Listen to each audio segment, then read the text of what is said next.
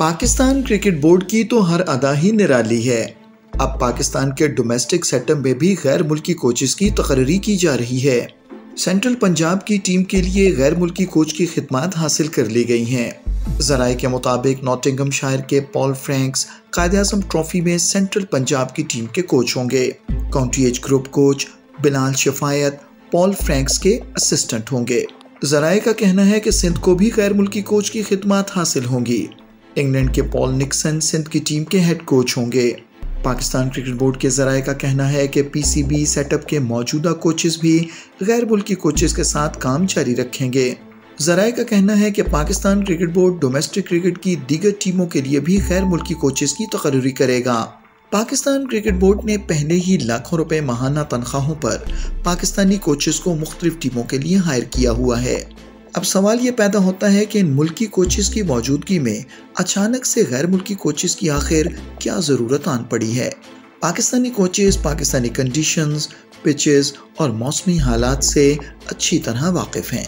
जबकि Pakistan cricket board की तरफ़ से अपॉइंट किए जाने वाले गैर मुल्की कोचेस में से तो शायद कई ऐसे भी होंगे जो ज़िंदगी में पहली बार पाकिस्तान के मुख्तलिफ़ शहरों ग्राउंड्स पिचेस और मौसमी हालात को देखेंगे।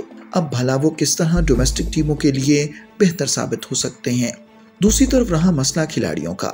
तो पाकिस्तानी क्रिकेटर्स की अक्सरियत ज़्यादा तालीम याफ्ता नहीं, और अंग्रेज़ी तो वैसे भी हमारे खिलाड़ियों के लिए एक मुश्किल जबान रही है, और खिलाड़ियों की अंग्रेज़ी बोलते हुए जान जाती है।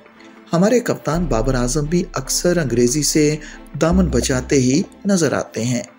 ऐसे में गैर मुल्की कोचेस डोमेस्टिक क्रिकेट खेलने वाले लड़कों की बात कैसे समझेंगे और उन्हें अपनी बात कैसे समझाएँगे?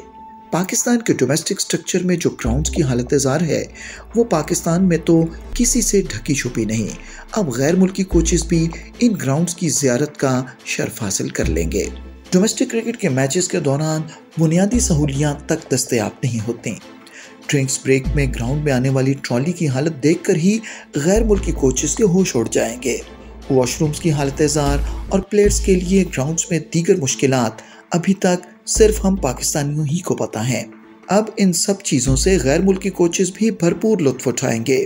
क्रिकेट के माहरीन का कहना है कि अगर पाकिस्तान क्रिकेट बोर्ड के पास बहुत ज़्यादा पैसे आ गए हैं तो उन्हें गैर मुल्की कोचेस के चौंचले में ज़ाया न किया जाए, बल्कि इसी पैसे से क्रिकेट ग्राउंड्स की हालत जार को बेहतर बनाया जाए और वहाँ दीगर बुनियादी सहूलतें मुहैया की जाएँ।